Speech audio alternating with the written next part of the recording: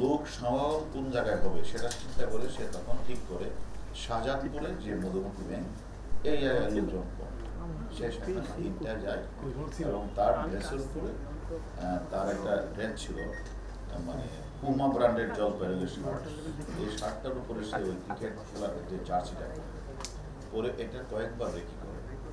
রেখি করে সে তারপরে যখন দেখে যে আস্তে আস্তে লোক হয়, ওর পাঁচটার দিয়ে তখন সেখানে যায়।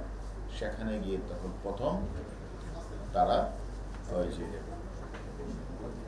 ভিকটিম যে মেরেছে আরিফুল যে সিকিউরিটি গার্ড তাকে নৃশংসভাবে হত্যা করে, চাপা করে এরপরে সে অনেক চেষ্টা করেছে যে মধুমতি ব্যাংকের এটিএম বুকটা সে ওয়ালটন ফ্রিজ কিনে অনেকের মতো আপনিও হয়ে যেতে পারেন মিলেনিয়াল।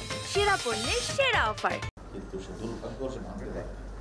তখনই সে চাপাতি শাবল টাবলগুলি ফেলে মনের দুঃখে রাস্তা পার করতে গিয়ে আবার মিরপুরের দিকে একটি বাসে করে মিরপুর বাসে চলে যায়। বাসের মধ্যে ওই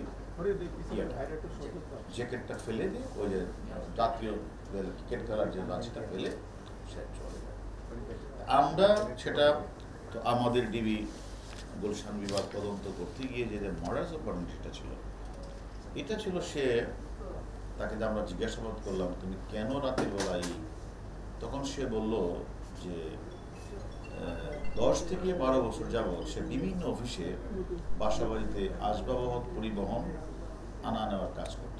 কিন্তু এতে তার পোষায় না। তারপর তার এক বন্ধু তাকে বলতে দিল, তুই বিভিন্ন জায়গায় ইট বালু রড এগুলি সব এত টাকা তখন সেই ব্যবসাটা করতে গিয়ে তখন কিছু জায়গা থেকে লোন করলেন লোন করে সে দশ পনেরো টাকা লোন করলেন লোন করেও সে এখানে লস খেলেন লস খাওয়ার পরে তখন তার উপায় না দেখে তখন সে পরিবার থেকে বিচ্ছিন্ন হয়েছে মিরপুরের বিভিন্ন জায়গায় তিনি কিডনি বেচার কিডনি বিক্রি করবে একটা, দশ বারো লাখ টাকা কিডনি বিক্রি করবে। সে একটা ওই যে, সে একটা মানে মানে বিভিন্নভাবে সব, সবাইকে সে প্রচার করেছে। দেখা ওটা। যে সে একটা কিডনি জরুরি কিডনি বিক্রি করে রক্তের অনেক দিন সে ঘুরলেন। কিন্তু দুর্ভাগ্য এটা তার কিডনিটাকেও কিনলেন না। তখন একদিন সে ইউটিউবে দেখলেন যে সেখানে যে একটি দৃশ্য দেখলেন যে এটিএম বুথ ডাকাতি হচ্ছে। সেখান থেকে এটিএম বুথ খোলার পরে দেখেন সে লক্ষ লক্ষ টাকা। এই টাকা অনেক টাকা পেয়ে গেছে সিনেমা ইউটিউবের মধ্যে দেখেছি তখন তার মনে জাগলো তাহলে আমার এটিএম বুথ কোথায় আছে? সেখানে আমার ডাকাতি করতে হবে তাহলে আমার এই টাকার সমস্যার সমাধান এই এই ইউটিউব চ্যানেলটা দেখেই তখন সেই পরিকল্পনা করে। সে স্বাধীন বাংলা সুপার মার্কেট থেকে হাতুড়ি হেমার চিনি, মিরপুর, পল্লবী মার্কেট ক্যাম্প থেকে মোড় থেকে চাপাতি, শাবল, সাকু, মিরপুর স্টেডিয়ামের ফুটপাথ থেকে সে বাংলাদেশ ক্রিকেট দলের জার্সি ক্রয় করে।